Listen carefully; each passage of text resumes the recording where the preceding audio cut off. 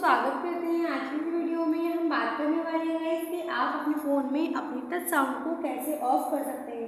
तो ये वीडियो में सिंपल सिंपल स्टेप पे आपको फॉलो करके आप अपने फ़ोन में अपने टच साउंड को ऑफ़ कर सकते हैं। तो ये वीडियो की जानकारी के लिए वीडियो लास्ट ज़रूर देखना। आई वीडियो शुरू करते हैं। तो वीडियो शुरू करने के लिए गाइस सबसे पहले हमें अपने फ़ोन में अपनी सेटिंग को ऑन करना होगा। ऑन करने के बाद यहाँ पर आपको इस तरीके का इंटरफेस देखने को मिल जाता है तो यहाँ पर आपको ऑप्शन देखने को मिल जाता है साउंड एंड वाइब्रेशन तो आप इस पर क्लिक करेंगे।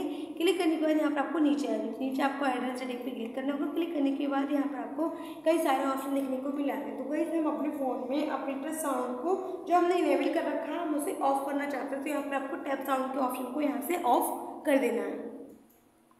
तो गाइज़ इस तरीके से आप अपने फ़ोन में अपने टच साउंड को ऑफ़ कर सकते हैं। तो गाइज़ वीडियो पसंद आई हो तो शेयर करें लाइक करें चैनल पर नए हो तो चैनल को सब्सक्राइब करें। मिलते हैं अगले नेक्स्ट वीडियो में। तब तक के लिए bye bye and take care